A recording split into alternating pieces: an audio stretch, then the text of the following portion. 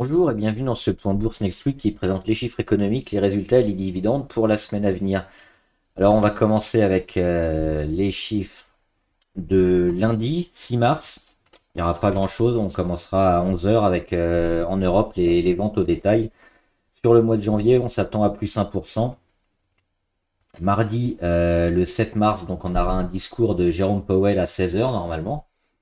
mercredi, à 8 heures, euh, vente au détail, donc euh, la même chose, mais cette fois ce sera en Allemagne. Sur le mois de janvier, on s'attend à plus de 2%. Et enfin, à 11 heures, euh, en Europe, le PIB annuel et trimestriel, donc sur le, quatrième trimestre de l'année 2022, on s'attend à plus 1,9 en annuel et plus, plus 0,1 sur, sur le trimestre. Donc à chaque fois, s'il y a des écarts assez importants avec ce qui est, attendu, ça peut créer pas mal de volatilité. Donc c'est les, chiffres un peu, les, heures et les, les, indicateurs qui vont certainement influer euh, pas mal sur le marché. À 14h15, on aura aux États-Unis création d'emplois non agricoles. On s'attend à 195 000 euh, nouvelles créations. Et à 16h, encore le, discours de Powell. Alors, il y, a, deux discours à un jour euh, décalage. Je ne sais pas si il fera les deux, effectivement ou s'il y en a un qui va être euh, annulé ou pas. Donc ça, il faudra vérifier. Enfin, moi, j'ai noté en tout cas donc euh, mardi à, 16h et euh, mercredi également à, 16h. On verra. 16h toujours mercredi, le rapport Jolts sur l'emploi, ça peut aussi mettre un peu de, volatilité sur les marchés. Et on finit avec les 16h30 comme d'habitude. Hein, le mercredi, c'est une habitude. Les stocks de pétrole brut, si on trade le, le pétrole, c'est toujours intéressant. Le jeudi 9 mars, euh, à minuit 50, ce sera au Japon. On aura le, PIB euh, annuel et trimestriel, donc pareil, sur le quatrième trimestre 2022. Euh, on s'attend à plus 0,8 annuel et plus 0,2 sur le quatrième trimestre. c'est aussi important, on a vu avec le Japon et la Chine hein, qui vont plutôt bien et qui entraînent un petit peu avec eux les, marchés, les marchés US et européens. Donc ça, ça, fait partie d'un tout. Hein. C'est toujours intéressant de voir un peu ce qui se passe sur le côté asiatique. 7h30, euh, ce sera en France cette fois avec euh, l'emploi salarié non agricole sur le, quatrième, trimestre. Et à 14h30, euh, aux États-Unis cette fois, inscription hebdomadaire au chômage. Ça, c'est un, gros chiffre, hein, toujours très important. Aux États-Unis, donc on s'attend à 195 000 nouvelles inscriptions.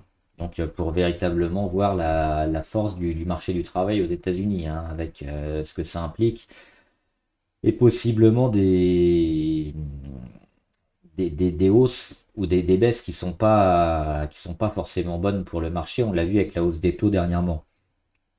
Et enfin, vendredi, on finit à 8h avec en Allemagne euh, l'IPC, donc l'indice des prix à la consommation. C'est ce qui permet de calculer l'inflation hein, qu'on a un peu sur, euh, sur tous les pays. Euh, et en Europe, qu'on suit énormément en ce moment avec l'inflation. Donc à 8h, euh, donc ce sera annuel et mensuel en Allemagne, donc euh, plus 8,7 sur l'année, hein, c'est encore énorme, c'est ce qu'on attend, et euh, plus 0,8 donc sur le mois de février.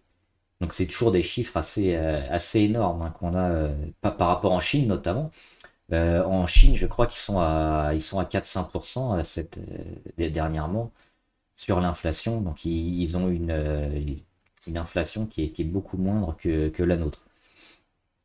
Et enfin, à 14h30, aux États-Unis, euh, création euh, d'emplois non agricoles sur le mois de février. On s'attend à 200 000 euh, nouvelles créations d'emplois. Et enfin, 14h30, donc la même heure, la dernière stade de la semaine assez importante, ce sera le taux de chômage aux États-Unis. Il y a 3,4%, c'est un taux assez faible. Alors après, je ne sais pas comment ils font leurs chiffres, s'ils sont assez aussi stricts que nous ou pas en Europe, ou un peu plus, pour avoir un taux de chômage assez bas des fois, les, tous les chômeurs ne sont pas forcément comptés. Hein. Euh, on va regarder maintenant les, les résultats et les, les dividendes des, entreprises. Alors, euh, pas, pas grand-chose dans ce début de semaine. Euh, lundi, j'ai noté rien d'intéressant. Alors, comme d'habitude, hein, je fais les, les, principales et celles qu'on suit généralement ici. des résultats des dividendes, il y en a des dizaines, voire des centaines dans la semaine. On les fait pas toutes. Mardi, mardi, il y a un McPhee, ça c'est intéressant. On la suit souvent McPhee euh, ou MC5. Je sais pas comment on prononce. Comment on l'écrit. Hop, elle est ici. Euh, donc, résultat annuel, normalement, mardi. vachement intéressant. Pourquoi? Parce qu'elle est toujours sous sa résistance ici des, des 15 environ qu'elle est aux prises avec sa moyenne à 200, toutes ses, moyennes, mais qu'elle a toujours du mal à, passer. Donc elle est toujours un peu dans, sa tendance, euh, tendance de, baisse, hein, et qu'elle a, alors qu'elle a stoppé, mais maintenant elle construit, et elle construit pas vers le haut pour l'instant. Donc il faudra, euh, il faudra peut-être un gros boost, et peut-être que ces résultats-là vont, être importants, vont permettre de casser enfin la zone des 15 et relancer euh, le titre. C'est un titre sur l'hydrogène qu'on suit beaucoup mais qui a un peu de mal. Et on a vu dernièrement avec Hydrogène Refueling aussi, qui avait son, un actionnaire majoritaire qui est parti, hein, le, titre a, un peu chuté. Donc euh, tout ce qui est hydrogène n'est pas forcément au top en ce moment. Euh, mercredi ensuite. Euh, alors là, grosse journée mercredi. On va passer directement sur le CAC 40. on va commencer par les plus importantes. Thales sur, la défense. Donc Thales qui annonce ses résultats, ça, ça va être très suivi. Euh, également Dassault Aviation. Alors, c'est pas Dassault Système, elle n'est pas au, CAC, hein, euh, mais elle est pas loin. Dassault Aviation. Et il y a une petite résistance hein, sur Dassault, on la voit ici, 165. Et elle date d'un moment, 165, hein, on va aller en, hebdomadaire. Hop, elle date d'ici, 2018. On a retapé en 2020 et on retape en 2022. Et pour l'instant, on n'arrive pas à la casser. 165, euh, c'est trop haut pour Dassault Aviation.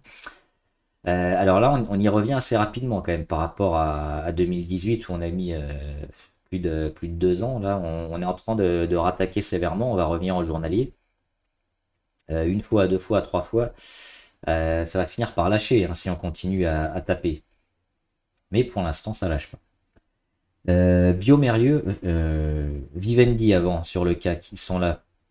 Vivendi qui a fait un, beau retour, mais pareil, hein, qui est sous sa grosse résistance. Euh, voilà, et ensuite, donc on aura Biomérieux, euh, Euraseo, Selectis, euh, Euroapi aussi, qu'on avait suivi pendant un moment. On va les, les regarder aussi. Euroapi, ils sont là. intéressant à suivre. Hein. peut-être aussi du, renouveau. Il hein. faudra casser cette oblique-là. On, s'en rapproche. Donc ça sera mercredi. Et enfin Adidas résultats mercredi. On passe à jeudi. Alors, pas mal de, résultats aussi jeudi. Euh, pas sur le CAC. On aura, alors je crois qu'on a Leonardo. Faudrait vérifier, mais euh, normalement, ils sont là. Leonardo, ils doivent annoncer euh, leurs résultats aussi qui, sont, qui ont bien, bien augmenté dernièrement, mais ça arrive sur résistance. Donc, Intéressant de suivre aussi les résultats. JC Deco, qu'on avait suivi aussi un moment, qui avait bien monté. Maison du Monde aussi, annonce ses résultats. SES e Imagotag. Euh, Endeavor Mining, les, pas mal de minières aussi. Il y a Ecla Mining, je ne l'ai pas noté, mais ils annoncent aussi des, résultats dans la semaine. Et on aura également Verimatrix. Ça, je sais qu'il y a quelques personnes qui la suivent, celle-là. Euh, Verimatrix, ça s'est bien cassé la gueule. Hein. et elle essaye de, se sauver sous les, sous les 1 euro. Euh, pour l'instant, elle essaye. C'est ni perdu ni, réussi. C'est entre les deux. Euh, les résultats vont être intéressants. Hein, jeudi, jeudi 9 mars. et enfin, on va finir avec une action que je suis. Alors, je suis que je suis du verbe suivre. Hein, je suis pas dessus. CSRP showroomprivé.com QRS, elle est là. Showroom privé. Euh, c'est pareil, jeudi. Euh, alors, toujours les, dans les journées, attention, des fois c'est avant bourse, des fois c'est après bourse. Donc, euh, si j'annonce jeudi, ça peut être mercredi ou l'inverse, ça peut être le jour suivant. Donc, si vous, voulez véritablement avoir la, la, date, regardez si c'est avant la bourse, pendant la bourse ou à la clôture, parce que ça peut, ça peut varier. Moi, je vous donne les dates à, un jour près, je ne fais pas le détail rentre privé, pareil, hein, je dis euh, résultat à suivre. Euh, ils, sont en embuscade. SRP, euh, ils sont pas loin de pas loin de tout casser vers l'eau. vachement intéressante aussi à suivre cette action. Et enfin vendredi, en France, il y aura Casino Guichard. Alors, Casino Guichard, j'aime pas trop parce que c'est franchement moche comme là. Ça fait un peu peur. Voilà, c'est ça. C'est dégueulasse.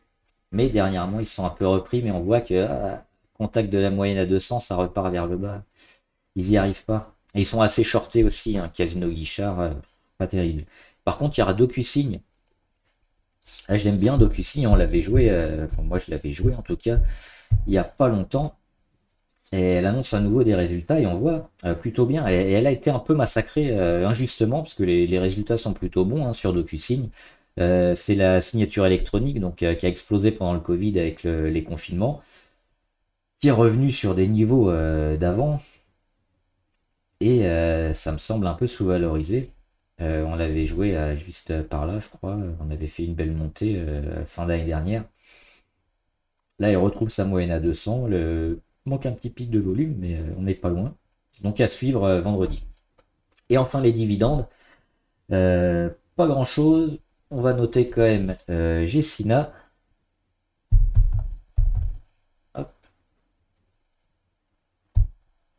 Ils sont là sur Euronext. Euh, ils donnent 2,65€. Euh, Alors c'est lundi.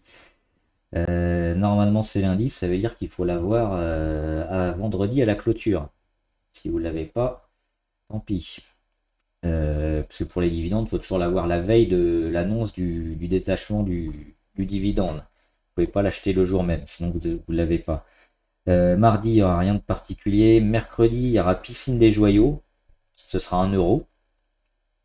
Euh, jeudi, aux États-Unis, on aura eBay. Ce sera 25 centimes de dollars. Et on finit avec euh, vendredi euh, United Health. On l'avait, on l'avait suivi aussi pendant un moment, United Health. C'est une, grosse société, hein. avec des chiffres assez, assez énormes. S, elle est ici.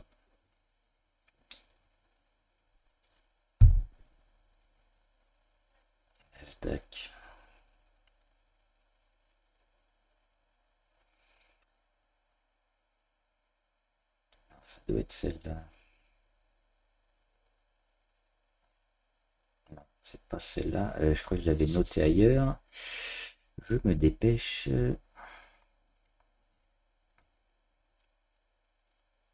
Elle est ici, United Health. Euh, normalement, c'est celle-là. Euh, et elle donnera 1,65$. Elle a un peu de mal, on le voit, hein, depuis le début de l'année. Elle a une, courbe assez impressionnante, mais là, euh, attention, phase de retournement à, la baisse pour euh, United Health.